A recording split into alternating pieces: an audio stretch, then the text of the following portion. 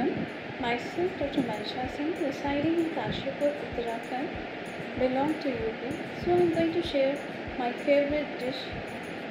It's of high nutritious value and low caloric value. I hope you will enjoy. It's called as Fara.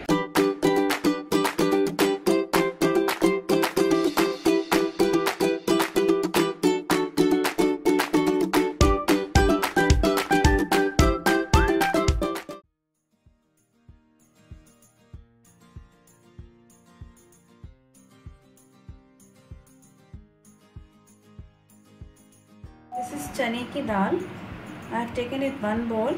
I am going to soak it for 4-5 hours and after that I will grind it with 2-3 green chilies and some garlic and here it is dal in the mixer and 2 green chilies and 4-5 garlic and I will grind it and make a good paste of it. Paste is ready now. Now going to mix the masalas. This is hing, a pinch of hing, asafoetida. Then this is garam masala and this is red chili. This is according to taste and this is dhania powder and here it is now uh, salt according to taste. Now I am going to mix it in the paste. Simple dough as making for uh, roti. Water in the pot on the gas to make steam. See all the masala and coriander leaves how the paste is looking. We just made roti of it and fill it with the paste. We made it and now it's looking as we fold gujia in holi how are they looking? See after 20 minutes I'm going to turn them. Now I turned and another 20 minutes later I will see.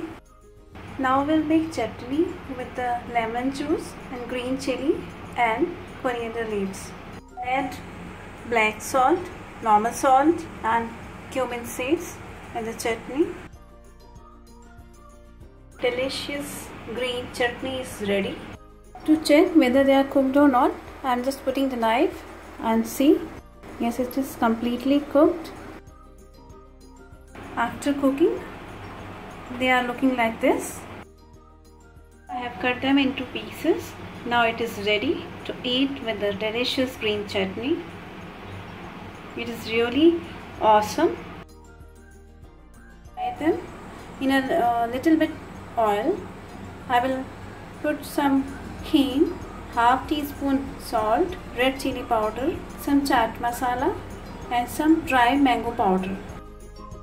After frying looking like this, now it is ready to serve with chutney. You can take it with tea or buttermilk in the morning in your breakfast and just enjoy.